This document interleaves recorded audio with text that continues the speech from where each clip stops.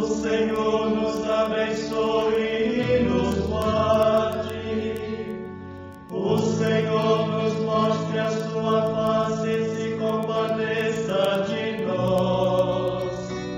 O Senhor louva seu